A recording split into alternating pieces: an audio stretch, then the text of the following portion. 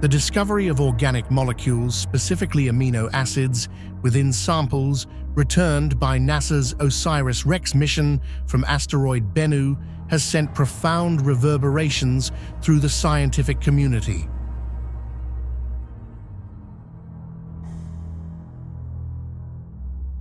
In September 2023, NASA's OSIRIS-REx spacecraft returned to Earth carrying material it collected from asteroid Bennu. One reason Bennu was selected for sample return was due to its composition. After initial study by the spacecraft, we found the asteroid to be rich in carbon-based molecules like organics, which is the stuff of life. Bennu is also a primitive asteroid that serves as a time capsule for preserving materials from the dawn of the solar system. Since the sample has returned, scientists have been studying the captured materials in labs on Earth. Now, their findings show that Bennu comes from a wet world that formed in the coldest regions of the solar system, likely beyond the orbit of Saturn and nearly 4.6 billion years ago. Scientists were surprised to find that the asteroid sample held such a complete library of minerals that precipitated from the evaporation of salty water, many of which are similar to minerals found from dried, briny lakes on Earth, like Lake Searles in California's Mojave Desert. When we looked at Bennu, we were expecting it to be full of water, and it, and it is. So it's made mostly of clay minerals, um, which capture water in their structure. But what we weren't expecting to find was that it also contains tiny minerals of salt. So that includes sodium chloride, which you use on your chips.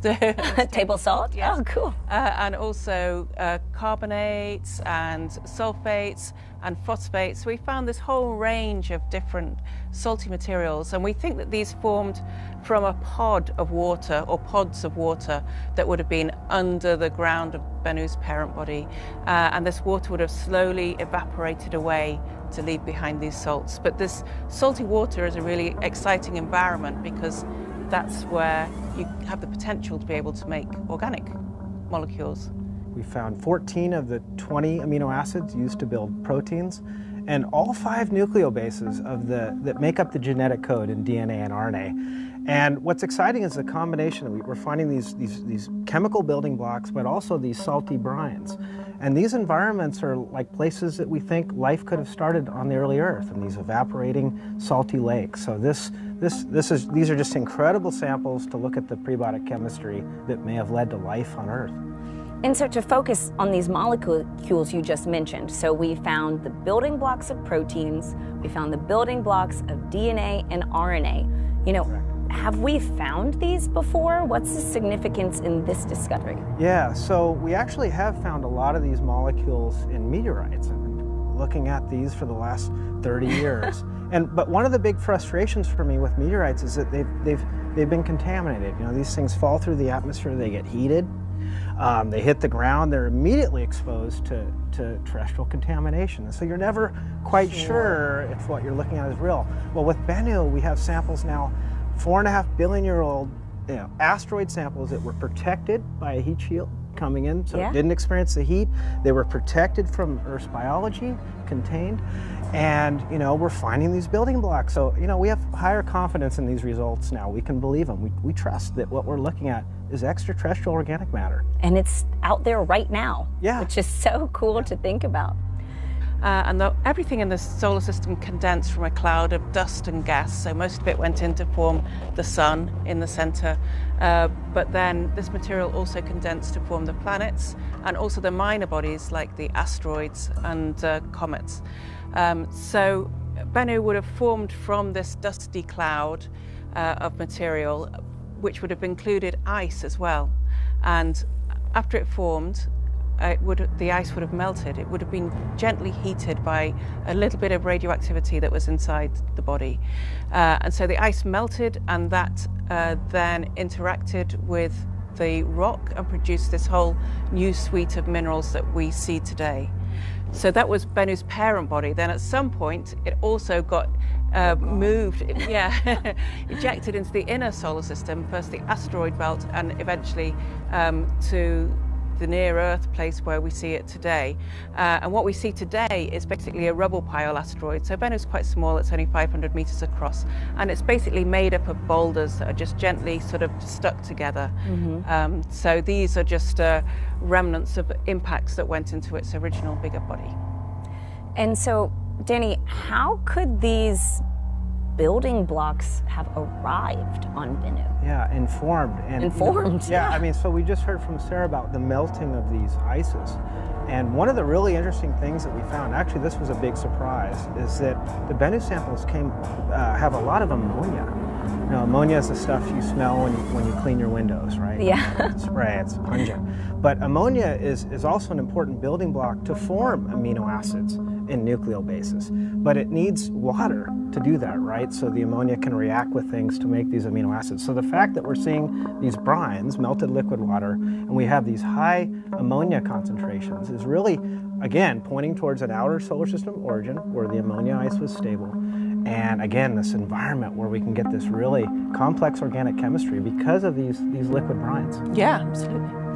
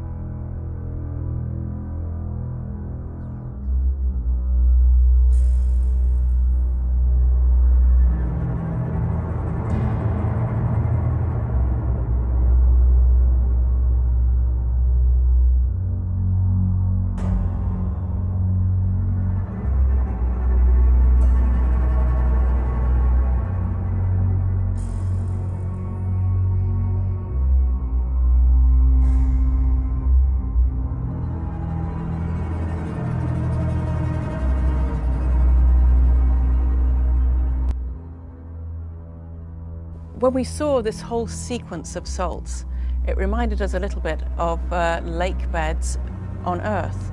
So like Searles Lake in California, where the lake itself has evaporated away and left behind this whole sequence of different minerals.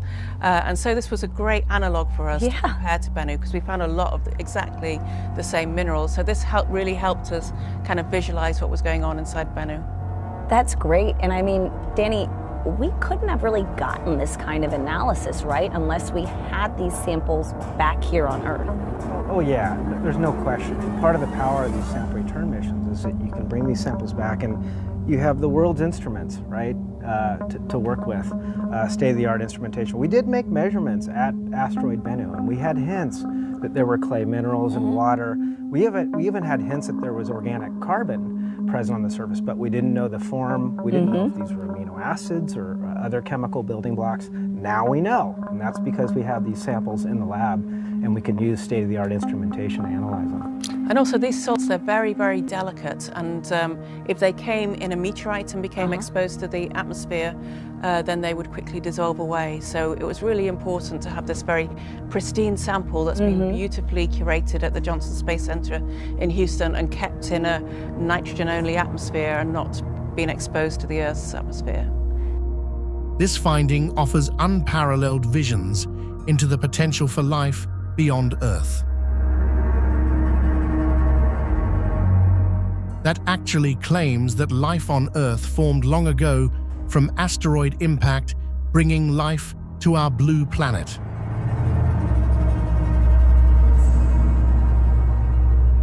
The presence of amino acids on Bennu has profound implications for astrobiology, the study of life in the universe.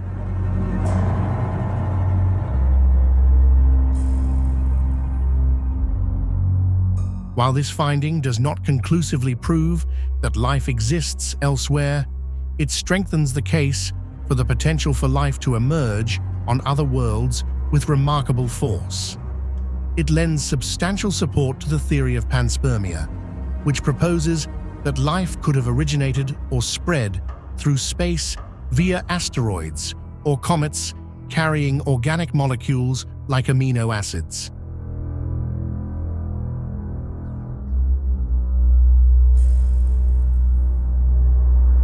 This possibility dramatically expands our understanding of life's reach and potential